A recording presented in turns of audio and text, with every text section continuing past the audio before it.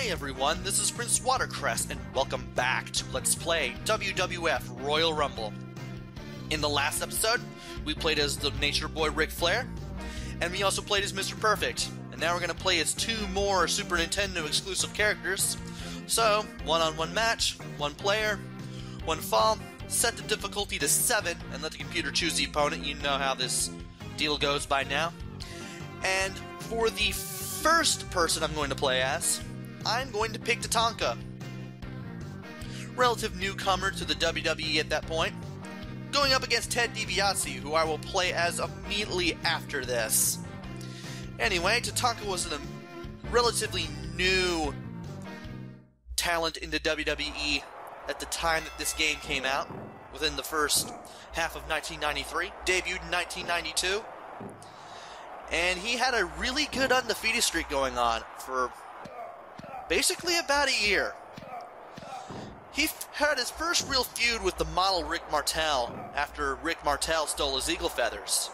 They would have a short feud, which ended up having Tatanka beating Martel at WrestleMania 8. But it wasn't until Survivor Series 1992 that Tatanka would fight him again and get the eagle feathers back. After that, he didn't really do much, but he did keep winning matches. Even though he would lose at house shows, they wouldn't count because they weren't televised. He would get a shot at the Intercontinental title at WrestleMania 9 and take on Shawn Michaels, but he won by countout, and the title could only change hands by pinfall or submission, so Shawn Michaels was able to retain. Tatanka's undefeated streak came to an end on October 30th, 1993 on WWE Superstars, after losing to Ludwig Borga, who had just shown up not long before that.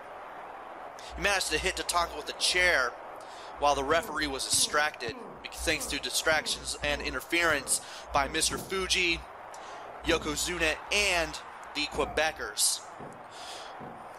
Lex Luger had to fight through all of those bad guys just to save Tatanka from further harm. And now it's time to show off the finisher. Get your opponent in the tie-up when they're in the red, and when they come back to you, press R, and you'll do Tatanka Samoan drop finisher known as the Papoose to Go.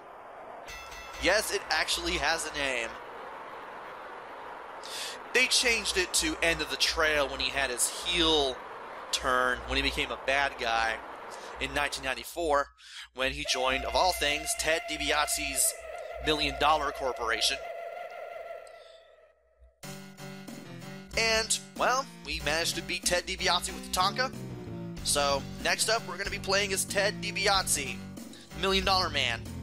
So, we've finally got four of the Super Nintendo exclusive characters covered now that we've gotten this video out of the way. We're getting it out of the way.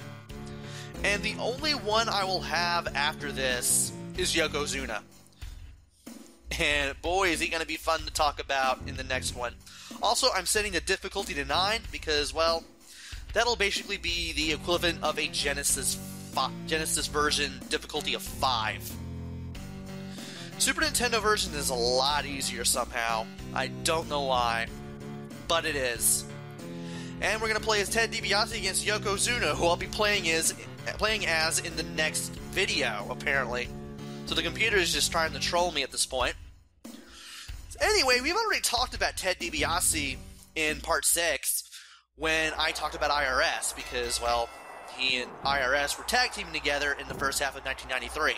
But you were probably wondering what Ted Di- DiBiase was doing after he retired. Well, why did he retire? Well, he had two cervical discs in his spine injured. And after he left WWF, he actually wrestled for a little while in New Japan. Of course, his injuries came back to haunt him, and he eventually had to bow out wrestling altogether before he took a more reduced role as a manager and whatnot. He started managing the Million Dollar Corporation in 1994, and one of the members was, interestingly enough, Irwin I. IRS. It would also include Bam Bam Bigelow, Psycho Sid, and of course, as I mentioned earlier, Tatanka, who would turn on Lex Luger and take a whole bunch of money out of Ted DiBiase's hands to join the corporation and sell out. But as the as 1994 and 1995 passed, well, everybody kept moving on to other lines of work. They all left the WWF, and there's that million dollar dream. You basically want to be behind a stunned opponent and then press R. Ted DiBiase will choke him out.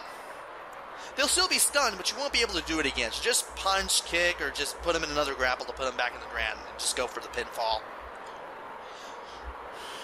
As I was saying, everybody would leave sooner or later. And the only person that DiBiase would be managing that was left was a debuting Steve Austin.